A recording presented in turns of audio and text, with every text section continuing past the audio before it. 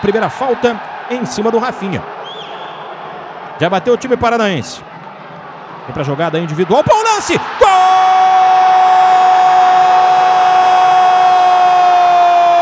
Gol do Cascavel! Na primeira jogada, Zequinha abre o placar. Mais uma vez, olha a jogada individual. E que coisa bonita! Foi feita mais uma vez, foi pelo Rony que acabou aí fazendo essa jogada. Olha, o Rony tá na realidade com a número 7, né? Na relação apareceu com a número 8, mas é o Rony aí, tá disfarçado o Rony. Disfarçou, passou pela marcação e marcou 1 a 0 no bonito gol, Marcelão. Na sequência tem Sorocaba e Joinville. Tentativa na área, o toque. Gol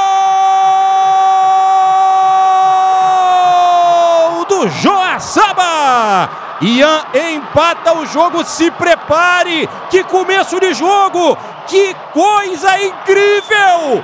Na primeira jogada ofensiva do time do Paulinho Saranduva, mais uma vez como lateral batido da medida. Aí o Ian se antecipa para vencer o André Deco. Um a um, que começo, que jogo! Cascavel com a formação iniciou o jogo. Gustavinho, boa bola pro Rony!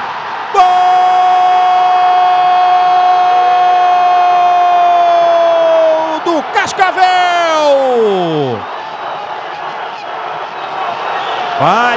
Vale, muito esse recado, Rony, porque não foi um gol qualquer, não foi um golaço mais uma vez.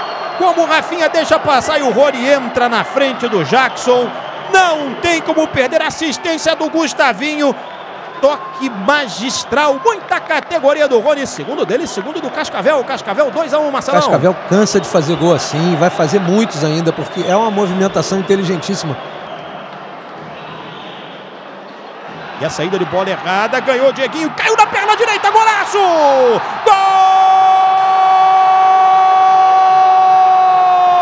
Gol do Cascavel! Para delírio do torcedor do time paranaense. Um lindo gol do Dieguinho. E ele puxou para a perna direita e disparou um foguetaço. Direito à comemoração ensaiada e tudo. Cascavel aumenta a vantagem mais uma vez. Como ficou no chão Augusto. E aí o Dieguinho bateu forte. A bola ainda bateu no joelho do Jackson antes de entrar. Três Cascavel. Um Joaçaba, Marcelo. Não, foi um golaço. Ah, começa na, na, no desenho da, da marcação, a dobra de marcação ali. Pensamento seria lá para o Jorginho. Não chegou o Hernani, ganha de cabeça. Jorginho protege, tenta o giro. Na volta, Hernani! Gol do Cascavel! Vira a goleada do time paranaense nesse primeiro tempo.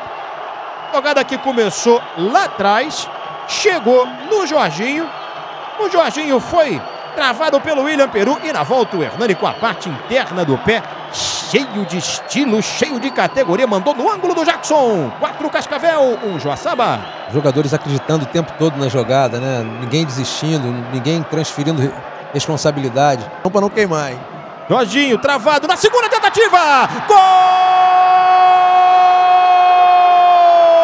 do Cascavel. Jorginho marca o quinto do time paranaense. E o torcedor do Cascavel vai ao delírio.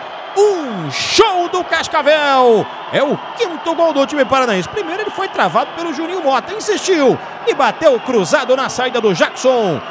Cascavel aumenta ainda mais a vantagem, 5 a 1. Eu vou te falar uma coisa, André Deco, sensacional. Ele fez um lançamento de goleiro de futebol de salão antigo.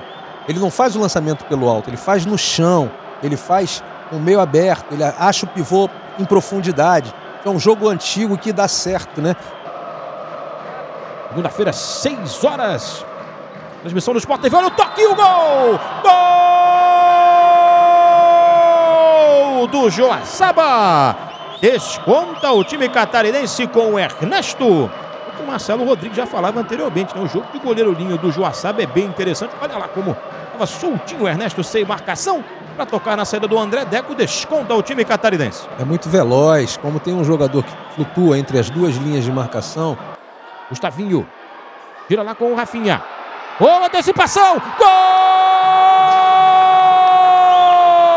Joaçaba. Ernesto marca o segundo dele, o terceiro do Joaçaba. Sabe aquela emoção que pareceu que não viria?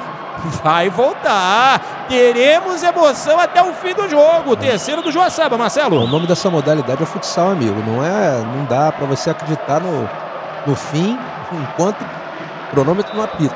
Então tem que buscar e a equipe de Joaçaba está fazendo isso.